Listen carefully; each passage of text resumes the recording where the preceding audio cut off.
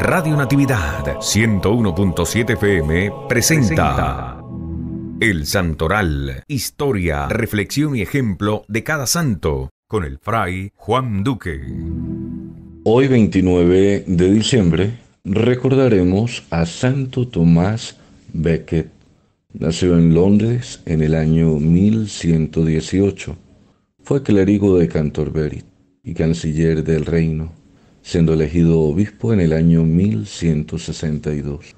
Defendió valientemente los derechos de la Iglesia contra Enrique II, quien le condenó al destierro en Francia durante seis años. Vuelto a la patria, hubo de sufrir todavía numerosas dificultades hasta que los esbirros del rey le asesinaron en el año 1170.